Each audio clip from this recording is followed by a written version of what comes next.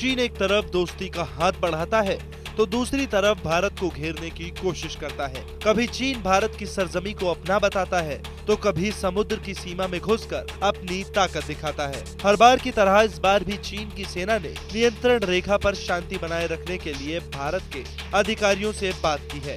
ये बैठक अरुणाचल प्रदेश के तिवांग ज़िले के तहत बुमला में भारतीय सेना और चीन की पीपुल्स लिबरेशन आर्मी के अधिकारियों के बीच हुई।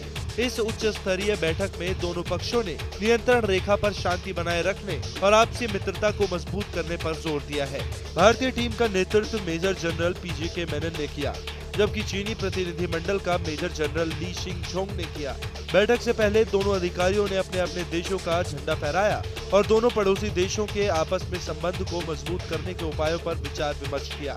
रक्षा विभाग की ओर से जारी एक बयान में इसकी जानकारी दी गई। बयान में कहा गया कि वर्ष 1990 में शुरुआत हुई। इस बैठक पर मेजर जनरल स्तर के अधिकारियों के हिस्सा लेने का ये पहला मौका था। इससे पहले बुधवार को दिवाली के मौके पर दोनों पक्षों ने एक दूसरे को बधाई दी और मिठाइयों और उपहारों का आदान प्रदान किया था। दिबांग शहर के 42 किलोमीटर दूर 15,000 फीट की ऊंचाई पर बसा बुमला सीमा बैठकों के लिए तय देशों की पाँच जगहों में से एक है। ब्यूरो रिपोर्ट भारत तक। अगर आपको हमारा ये वीडियो पसंद आया है तो आप भारत तक को सब्सक्राइब कर सकते हैं। साथ ही लाइक कीजिए हमारे वीडियोस और शेयर कीजिए।